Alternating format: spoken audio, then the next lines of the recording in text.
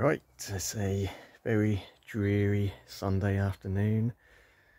Overcast, very still, quite cool. So we're in the uh, polytunnel.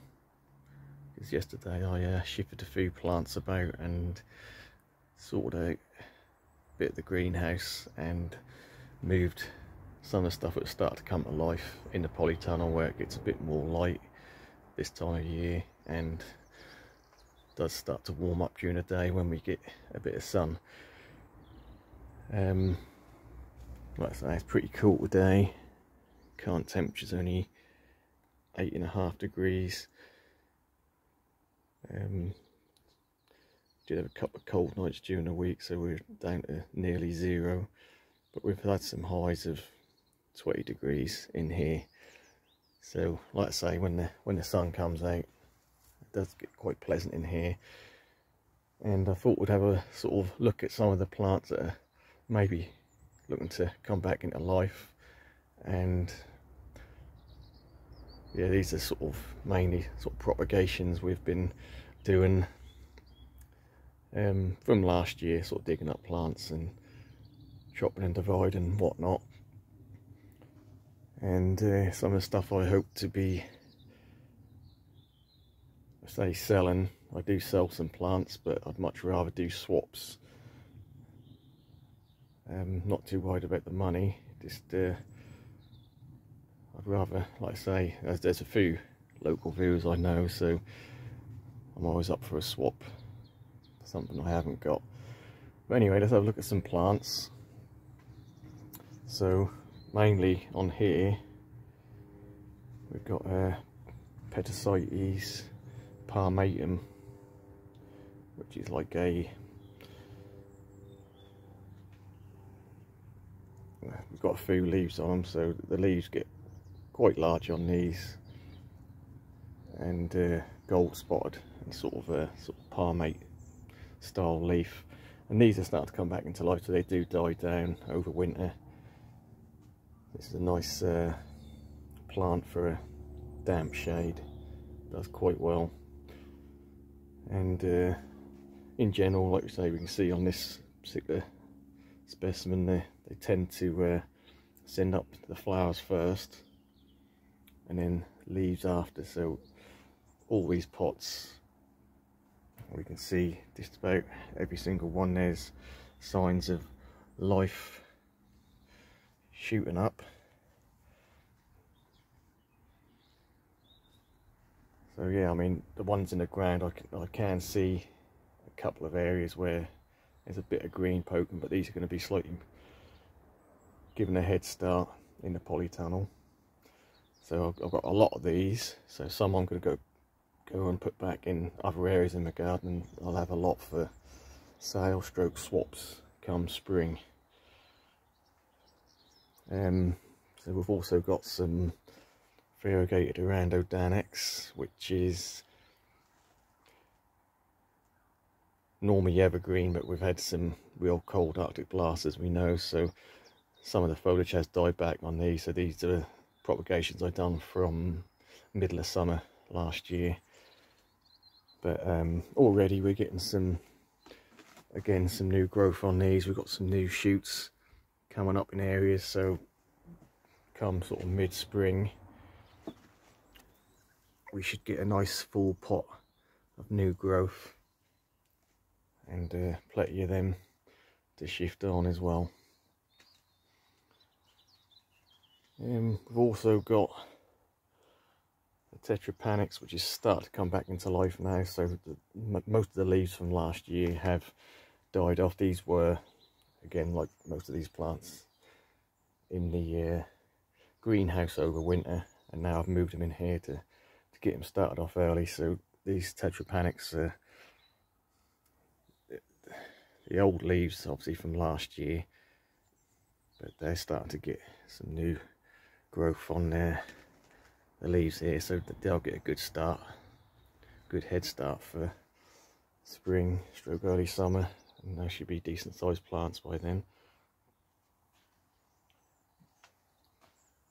Also got uh, underneath here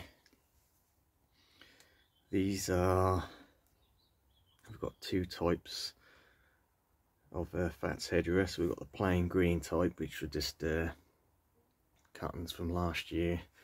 I've also got the uh, variegated leaf type as well. So we've got a few cuttings of that. And I've also got a lot of uh, cast iron plants there, which uh, all sort of uh, offsets of the, the main clump I've got. Got a lot of cannas in pots in here as well. And believe it or not, these are starting to come into life. So we've got some new shoots in a lot of these. So let's have a look.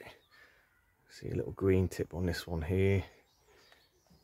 And again here. So cannas are starting to slow but sure that they'll start to pop up. And we've got a, quite a few cannas along also underneath the benches and at the front here as well so a lot of them have got new growth coming so we've got a mixture of cannas everything from uh, Tropicana Black to um, Indica and we've got some uh, banana cannas as well. And also got a fish tank here inside a polytunnel so it gets sort of double warm when the sun comes out if you like. It definitely warms up a lot better in there and also it helps keep the humidity up and what we've got in here are the colocasias so mainly pink china. Might have some uh, escalante and that sort of thing in here as well. And just having a little sneak peek there's a couple that have got green shoots. So they are starting to wake up now as well. So yeah we'll have a lot of uh, colocasias in the way of pink china and some couple of other types as well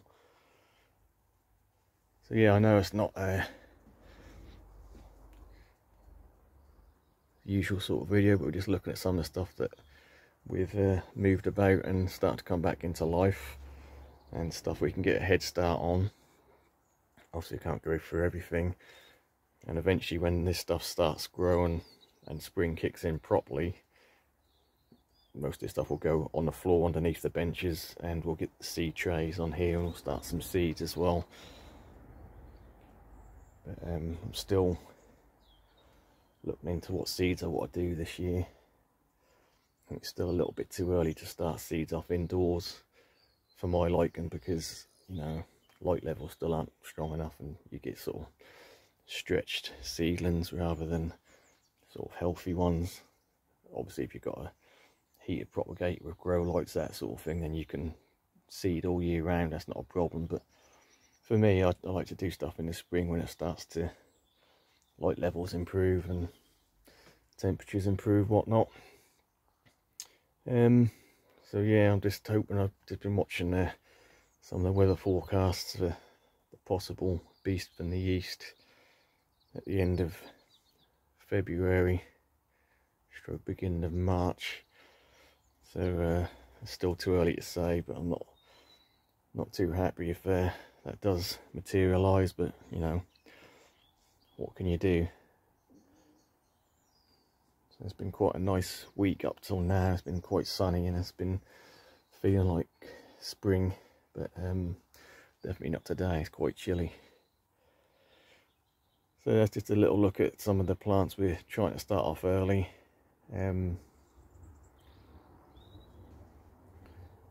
and hopefully